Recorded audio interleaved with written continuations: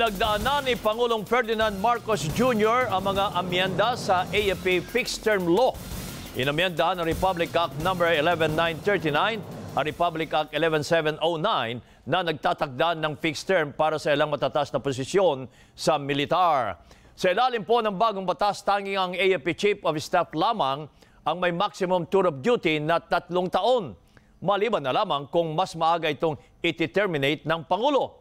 Samantala, dalawang taon na lang ang maximum tour of duty ng mga pinuno ng Philippine Army, Philippine Air Force, Philippine Navy, maging ang Philippine Military Academy. Imbis naman ng 56 years old, tinakda na sa 57 years old ang compulsory retirement age ng mga enlisted uh, military personnel at officers na may ranggong second lieutenant o ensign hanggang Lieutenant General o Vice Admiral. Inamyendahan naman ang fixed term law sa gitna ng napareport na pag-alma sa hanay ng militar. Bunga ito ng naunang batas na may layong resolbahin ang revolving door policy sa AFP kung saan pinapalitan kagad ang mga matatas na opisyal kahit ilang buwan pa lamang na nagsisilbi sa kanyang pwesto.